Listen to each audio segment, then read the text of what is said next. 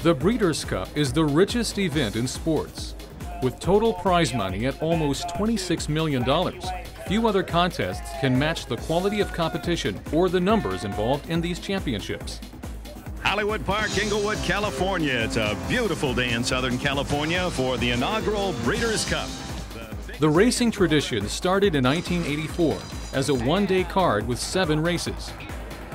Over 1.8 million people have attended the Breeders' Cup, with the largest crowd coming in 2010, when nearly 115,000 fans filed through the turnstiles at Churchill Downs.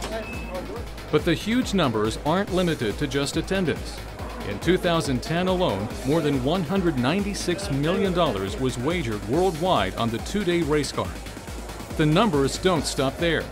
The average payout on a $2 win bet is $21.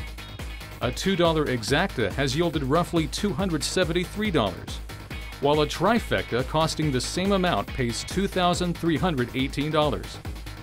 And if big money is your game, a $2 pick six nets on average over $780,000. Still on top of his game at age 77, D. Wayne Lukas has trained a record 19 Breeders' Cup winners, including last year's juvenile sprint victor Hightail. While Jenine Sahadi is the only female trainer to guide her horse to the winner's circle.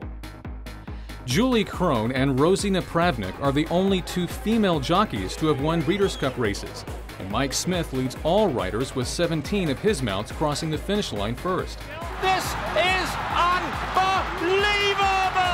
Zenyatta! What a performance, one we'll never forget! His greatest victory coming in 2009 as Distaffer Zenyatta bested the boys in the Classic.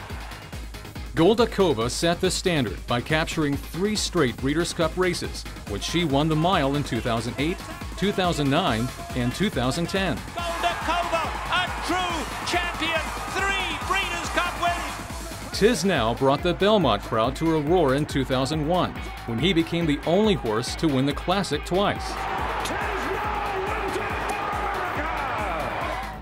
And if you were looking for a long shot in 1993, Arcangues hit the wire at odds of 133 to 1. Here is Arcangues to win it in an absolute shocker! No matter which side of the rail you're on, the Breeders' Cup has your number.